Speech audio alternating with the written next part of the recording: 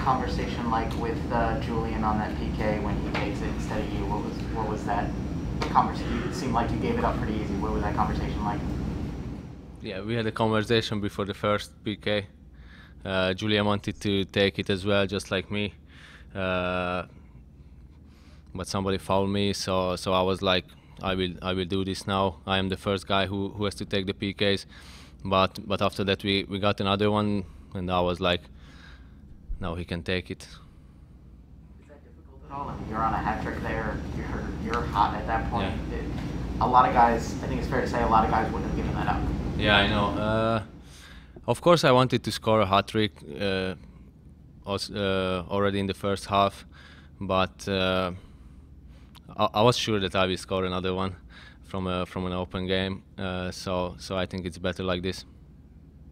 So the uh, basketball celebration, um, is that because Tyrese was here tonight? Yeah, yeah, yeah, exactly. Uh, I was talking to my teammates uh, before the game. They know that uh, I really like basketball uh, to watch, but but I uh, I cannot play too good uh, on the trainings. Sometimes I will I will uh, I used to play with the uh, basketball, and they are just laughing on me.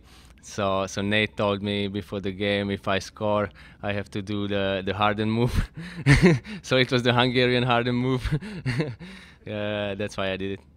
And so the hat trick brings you up to 16 goals on the season, tying the club record. What does that mean to you? Yeah, I'm I'm so happy. This is my first hat trick so far in my career. So so obviously I'm I'm really happy with it. Uh, I have 16 goals during this season so far. This is my best season in my career. So so yeah, I'm I'm so happy right now, but I don't want to st- stop now. Uh, I want to keep keep going until the end of the season uh, and also in the playoffs. Yeah.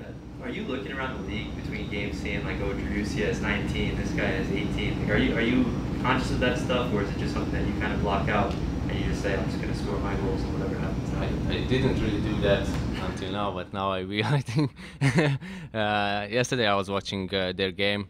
Uh, they played a, a really good game. He scored a nice goal. Uh, I'm really uh, I'm really close to to the top uh, of the top scorers in the league. So so yeah, I, I try my best and let's see what uh, is going to be at the end of the season.